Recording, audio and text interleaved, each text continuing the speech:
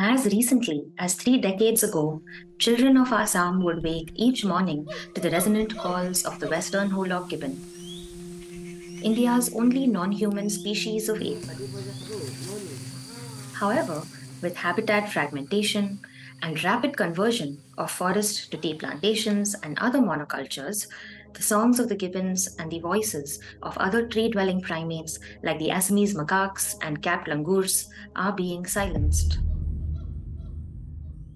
I am Ishika Ramakrishna, a doctoral fellow at the Center for Wildlife Studies, working to understand human wildlife interactions through multidisciplinary methods.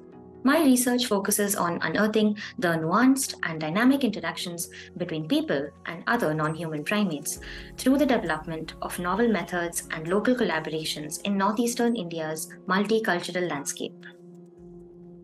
As we zoom into regions that house multiple species of primates and human communities, we see how they are struggling to adapt and coexist amidst drastic habitat transformations. I aim to collate the layered factors that could lead to conflict prone relationships between people and wildlife and work closely with these very people to conserve vulnerable and endangered primates of India. Today, I am reaching out to you for your support to help complete this ongoing work. Your contribution could go a long way towards helping foster positive human primate relationships in Assam